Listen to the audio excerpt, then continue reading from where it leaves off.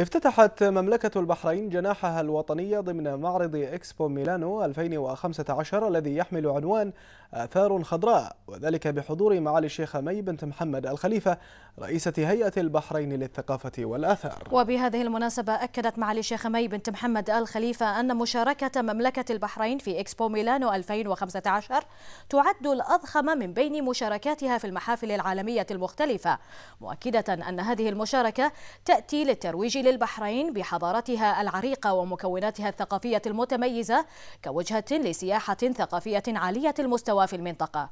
كما وأوضحت معاليها أن عنوان جناح البحرين آثار خضراء جاء ليمثل الاعتزاز الذي يشعر به المواطنون بتراثهم الثقافي والزراعي. وقد شهد افتتاح الجناح حضورا كبيرا من قبل الزوار الذين أشادوا بالإرث الثقافي الزراعي الفريد الذي تمتلكه البحرين والذي يعرض من خلال حدائق فاكهة متنوعة.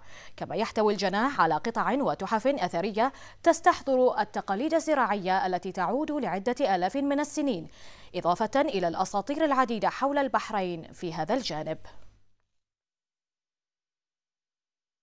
هذه المشاركة في معرض إكسبو ميلان المشاركة العالمية التي تمثل فيها مملكة البحرين.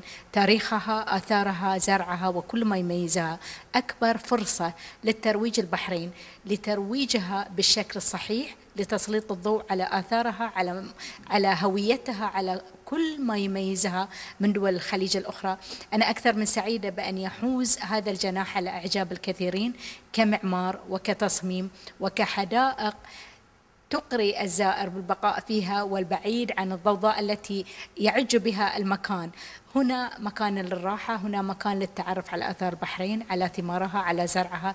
الفيلم الذي أعد عن آه، كل ما يتعلق بالزراعة في البحرين وهو ثيم هذا العام لمشاركة آه، العالم أجمع حيث تحت عنوان آه، كيف نطعم العالم نقدم أجمل تمثيل لطبيعة الزراعة في البحرين منذ البدايات الأولى منذ القرون الماضية كيف كانت الزراعة بشكل طبيعي وكيف استحدثت بعض المعدات وبعض التجارب الخاصة. كلها تحضر هنا في البحرين لتقدم مملكة البحرين بأجمل